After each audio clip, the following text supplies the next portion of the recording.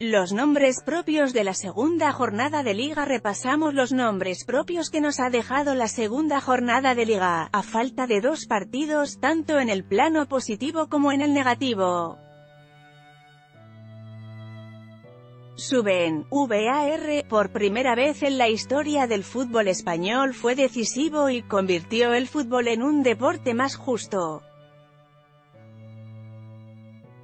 Anuló un gol de Keco en fuera de juego que habría dado un empate al Valladolid y provocado el primer pinchazo del Barcelona.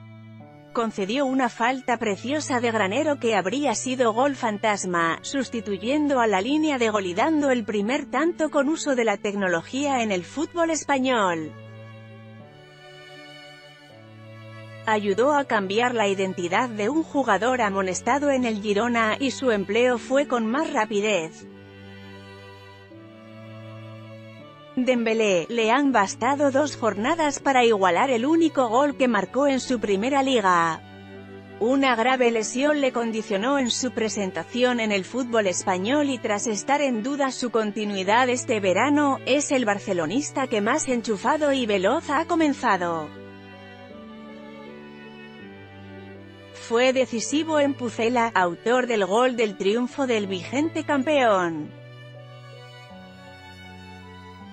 Real Madrid, se levantó con carácter en un estadio como Montilivi, donde no fue capaz de hacerlo el pasado curso.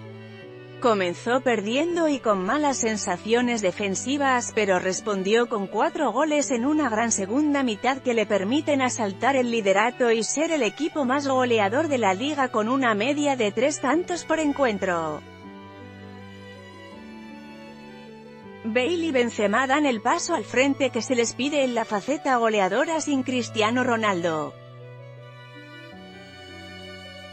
El zar, su fe mueve montañas y en ocasiones encuentra el premio que tanto pelea sobre el césped.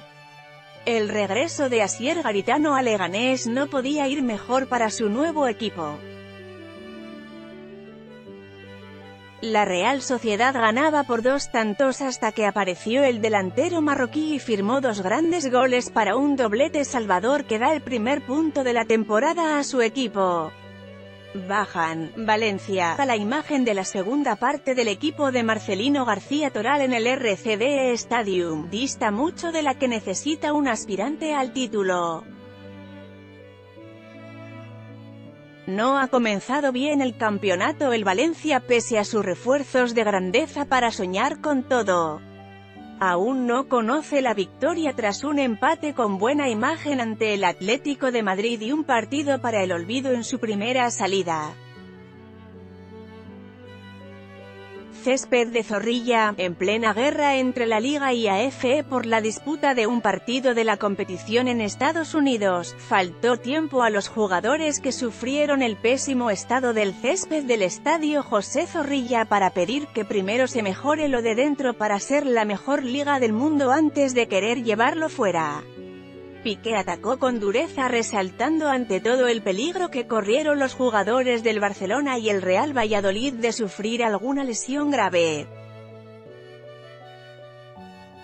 Eibar, desde que dio el salto a la élite del fútbol español nunca había perdido las dos primeras jornadas. Síntomas preocupantes en el inicio al ser derrotado en su estadio por un recién ascendido como el Huesca, que se agravaron en la visita al Getafe.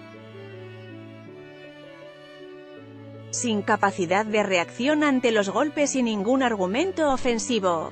Con cero disparos a puerta es imposible. Teo Hernández, tras una temporada en la que con la presión de un grande como el Real Madrid no mostró su verdadero nivel, mientras busca conseguirlo en la Real Sociedad dejó algún fallo defensivo que costó caro en Butarque y no aceptó la crítica. A través de las redes sociales respondió a un medio de comunicación provocando el enfrentamiento directo y alejándose de la autocrítica.